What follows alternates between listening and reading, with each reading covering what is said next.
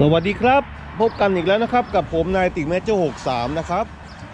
วันนี้ผมพาเพื่อนๆมาชมโกสนนะครับ และจะบอกเกร็ดเล็กน้อยด้วยนะครับว่าเลี้ยงโกสนอย่างไรนะครับ ให้ใบมีออกสีสันสวยงามนะครับ ข้อที่หนึ่งนะครับ อย่าใช้ปุ๋ยคอกเยอะนะครับ ก็มีเหตุผลว่าในปุ๋ยคอกนี่ส่วนมากจะมีธาตุไนโตรเจนนะครับซึ่งไนโตรเจนนี่ก็จะทำให้ใบมัน โกศลเนี่ยเขียวนะครับ แล้วก็ต้นยืดนะครับ โกศลก็จะไม่ออกสีอื่นๆนะครับ ใบก็จะไม่มีสีสันไม่มีลายเส้นสวยนะครับ ก็จะกลายเป็นเขียวนะครับ ข้อที่สองนะครับให้โกศลได้รับแสงเพียงพอนะครับ ก็อีกเช่นกันนะครับ ถ้าโกศลได้รับแสงน้อยเกินไปนะครับ จะทำให้ใบโกศลนี่ครับ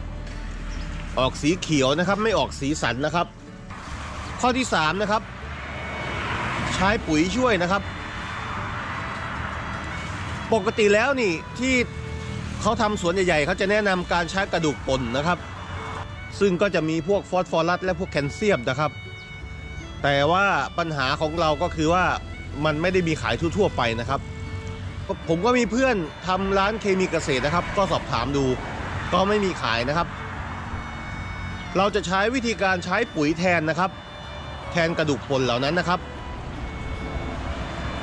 ก็คือปุ๋ยที่ใช้นี่ จะต้องมีสูตร ตัวกลางกับตัวท้ายสูงนะครับ คือตัวแรกเนี่ยเป็น N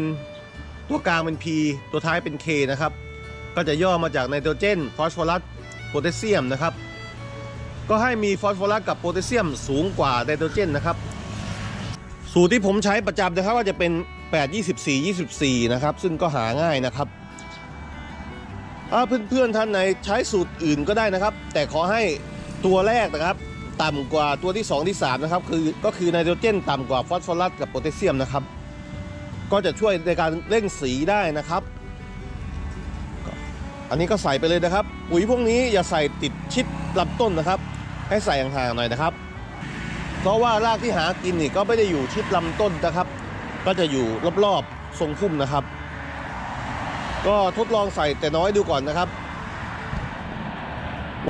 วันนี้ก็ฝากเกร็ดเล็กน้อย เกี่ยวกับโกศลในในการที่ทำให้โกศลใบสวยสดงดงามไว้เท่านี้นะครับ ก็เพื่อนๆท่านใดปลูกโกศลก็ลองทำตามดูนะครับ แล้วใบโกศลที่บ้านก็จะสวยขึ้นนะครับ หากชอบคลิปผมก็ฝากกดไลค์กดแชร์กดติดตามด้วยนะครับ ไว้พบกันคลิปหน้านะครับ สวัสดีครับ